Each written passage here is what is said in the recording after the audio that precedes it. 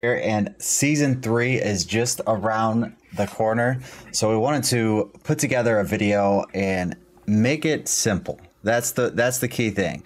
I want to get to level one to 100 and I want to do it fast. And that's the idea, right? Because we know that the gauntlet is coming out and you want to get to a level 100 fast so you could catch those leaderboards. And that is the goal uh, for us here and hopefully it's the goal for you too. Uh, but I wanted to cover a few things.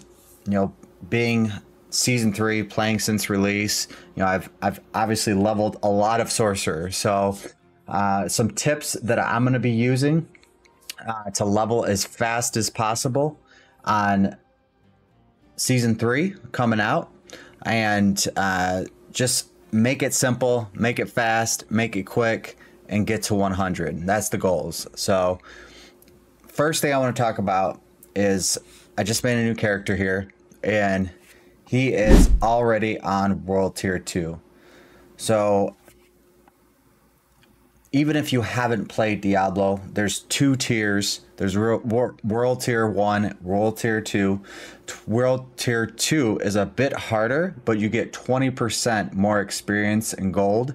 So I would highly recommend playing on World Tier 2 because it is going to go a lot faster. So that's just the, the, the easy quick tip. Tip number one, if you call it that. But uh, make sure you start on World Tier 2. Tip number two. All right, so I am World Tier 2 right now. I actually made it to World Tier 4 on the first night playing Diablo Season 2. So, get to World Tier 4 as fast as possible. It is way more experience when you get to World Tier 4. And and you could be like 10 levels below the mobs and still kill mobs in World Tier 4.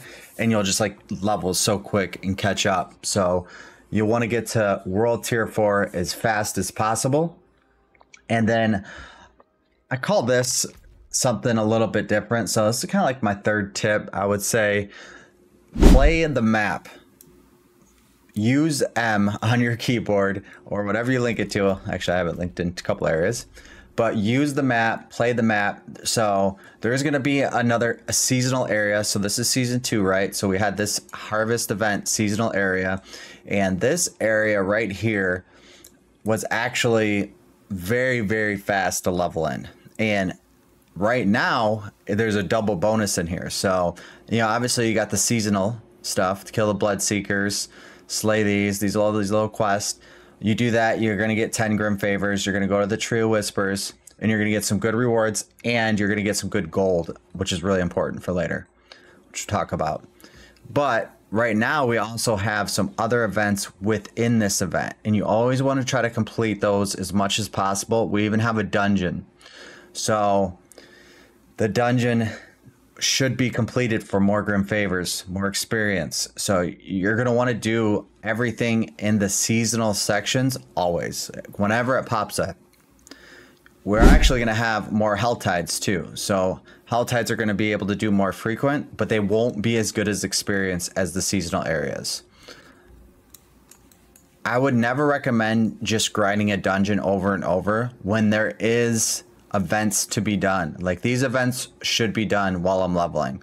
So this is a new character, that's why everything's kind of closed off right now. But see right here, also, we want to do these, all these events. And that's going to be the fastest way to level because we're going to get more Grim Favors and we're going to go to the Tree of Whispers and we're going to able to do more turn-ins. So we're going to get more rewards, more gold, and experience. So play the map, press M all the time when something pops up. So you might have a Legion event. Do the Legion event. The Legion event is going to give you a ton of experience. You know, if you have a world boss, do the world boss. You're probably not going to be able to kill it at a lower level, but somebody else will be higher than you. So do the events, play the map, and you will level a lot faster. All right, so this next portion is probably going to be my favorite portion Uh, because uh, currently I was to level a sorcerer, there's only three different builds that I would do. So there's Arc Lash. If I want to level fast. If I wanted to level fast, if I want, hey, if you want to take your time, you want to take your time, watch Kelfka's videos while you're playing, sub to the channel, whatever you want to do. You want to take your time, that's fine. You could do that. I'm talking about I'm trying to get to 100 as fast as possible. Let's go. All right, so there's three builds. So I'm gonna I'm gonna go over all of them and, and why these three builds are the best builds to use. So first one's Arc Lash. Uh, the second one is going to be Ice Shards, and then the third one's going to be Chain Lightning. So those are going to be your three best builds currently. If something changes, I'll let you know because season three does not have the actual. Um, we don't know what the actual seasonal theme is or anything like that. But currently, to level Arc Lash, Ice Shards, or Chain Lightning. So if you press your Y button on your keyboard, you're going to see your Codex of Power. So for Arc Lash, there is we'll go to offense. There's a, this rapid aspect. So the rapid aspect, you gain 15% attack speed, basic basic skills. So that's very very good for Arc Lash. So that's that's why Arc Lash is very strong early on. Uh, for Ice Shards, you get the aspect of piercing cold. So now we know we could do arc lash, we could run through things, we could run through it fast, we could do ice shards, we could pierce through things, run through things fast. So you see the little the the dungeons you got to go to, Dead Man's Dread, and then I believe this one's uh where is it? Buried Halls. So those are the two, and then Chain Lightning, you actually have to go to the resource tab because this right here is fantastic. Recharging aspect. So if you want to play Chain Lightning, this is also a very, very good aspect. And you know, you you're gonna get to your core skills before like your mastery skills or anything like that. So that's why you gotta try to kind of try to have to pick one of these um, to use. You might be able to use arc lash and chain lightning. I we can do that together. Um, might might be something you want to look at, or ice shards and arc lash. I don't know. Try it out. See what happens. But those are the three I would definitely recommend doing. Get into those uh, dungeons and knocking those out as soon as possible because you're going to want these if you're going to want to play one of those builds. So I'll decide which one I'm going to level with after I see the seasonal update. So maybe maybe ice shards will be a little bit better because of something with the seasonal powers or whatever that looks like, or chain lightning or arc lash. But it's going to be one of those three. One of those three. Comment below. What do you think? What do you think out of those three would be the best to level with? So. All right. So then there's still some things you need in here. There's still some work to be had. You have to get these too. So there is the elemental aspect. Very, very good. Uh, so core skills above 100% mana, you get a 20% increased crit. So that's very good. Uh, there is also the aspect of control, which I highly recommend getting as well.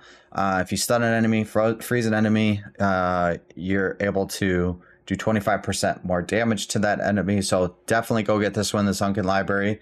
Uh, very, very important. And there is one more that we have to get.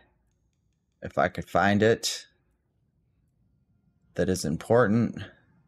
This one right here, Storm Swell aspect. So increase 21% damage to vulnerable enemies. Go get this Onyx Hold. So these are the ones you, you really should focus on early. Get these out of the way. Get these dungeons done. Hopefully it's in hopefully it's a a dungeon that has you know this early on. Maybe it has some grim favors. We'll see. All right, back to the codex because we're not done with the yet. So there is uh one defensive codex. I think what everyone should get is the aspect of disobedience, and then also this one might not be uh, terrible to get grab too. Um, Lair is actually pretty fun dungeon, easy. So that's a that's a nice one to get as well.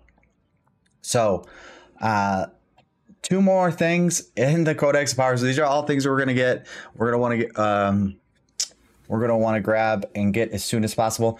So I 100% think if you don't go Chain Lightning, you're gonna need at Prod- Prodigy's aspect. So you're gonna want to go grab that as well in Witchwater. Uh, so grab that, get that done, get that out of the way, and then I love being fast when I'm leveling, so I will put this on my neck and put this on my boots. Is the aspect of bonding conduit, 25% after teleporting, movement speed for three seconds, and then wind striker aspect because if when you crit, you get 8% more movement speed. So I think that being fast is also going to help you level one to 100 a much faster, obviously, running around the map and dungeons and things like that you're going to be doing. So, uh, pretty easy tip so far, right? You know, get your codex power, you know, play the map, start in tier four or start in tier two, get to tier four as fast as possible. I want to talk about a couple more things. I've talked about this before AOZ came out. I was like, everyone, get 3,000 Veil Crystals. You're going to want them. So, you know, when you go to the materials here, this is because I have my main. These things I would save as much as possible because the gauntlet is going to be different every week and there might be a different build that's better for that week. So, the Veil crystals are very, very important to build up and also Forgotten Souls uh, by doing Hell Tides. So build these up. You know, I'm not a big fan of changing my build like too uh, too many times during the leveling process because it's pretty quick anyways. But um, these things are going to be really important to make sure that you're holding on to farming. I always like to do a good balance between, um, you know, uh,